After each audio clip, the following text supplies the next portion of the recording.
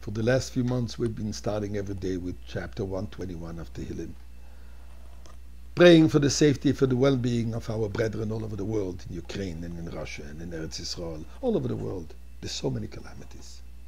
Today, instead of reciting together chapter 121, I'd like to recite chapter 137. In fact, according to the way the previous Rebbe has established to say every day chitas, chumash, tilim, and tanya, every day learning the portion of the Torah, section of the day, and saying Tehillim, Psalms, as it is subdivided in a monthly cycle, excuse me, a monthly cycle, and also the Tanya, part of Tanya, divided on the annual cycle.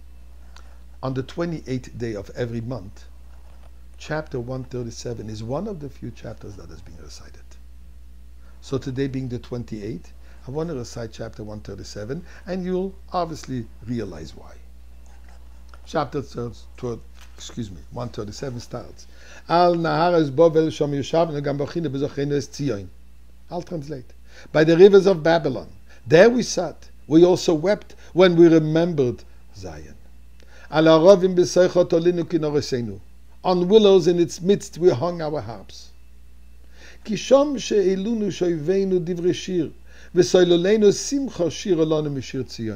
For there our captors asked us for words of song, and our tormentors asked of us, Sing for us of the song of Zion.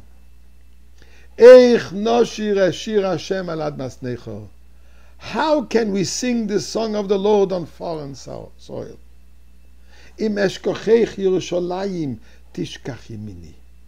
If I forget, O Jerusalem, may my right hand forget its skill. Tidbak lishoini lechiki im lo eskerechi. May my tongue cling to my palate if I do not remember you. Im loy ales Yerushalayim al roish simchasi, if I do not bring up Jerusalem at the beginning of my joy. Zechoyer Hashem livnei Edom es yoim Yerushalayim, Remember, O Lord, for the sons of Edom. The day of Jerusalem, those who say, raise it, raise it down to its foundation.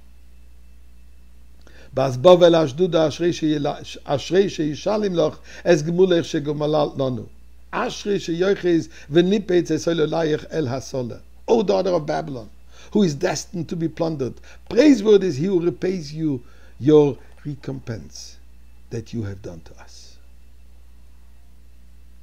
The Talmud in Tractate Gittin, page 57, says the following, and it's quoted in many other places. Omar Rav Yudah Rav, says Rav Yudah in the name of Rav. My dirsiv, what is the meaning of the verse? Al Naras Bovel, or I should, not just the verse, but the entire psalm. Al Naras Bovel Shom Yushavnu Gam. What is the meaning of this psalm? And he responds, Shehero HaKadosh Baruch Hu David that God has shown to King David. Churban Bayis Rishon, the destruction of the first temple. The Churban Bayis Sheni, and the destruction of the second temple. First temple, Shenem it says, Al Nares Bovel, Sham Yishavnu. The exile, Babylonian exile. Bayis Sheni, Zechoyer Hashem Livnei Edom. Please remember the time when we were surrounded by Edom. Es Yom Yerushalayim, the day of Jerusalem, the day say it should be raised, Israel should be raised, R-A-Z-E-D, not R-A-I-S-E-D is what our enemy said. So today, when we celebrate Yom Yerushalayim, when we celebrate the miraculous moment where soldiers of the Israeli Defense Forces, against the wishes of the politicians and against many in the army staff, they went and they broke through and they reached the Koisel and they exclaimed, Harabais beyodenu. And indeed, it was a most miraculous event that after so many years, we'll finally be able to go back to the Koisel.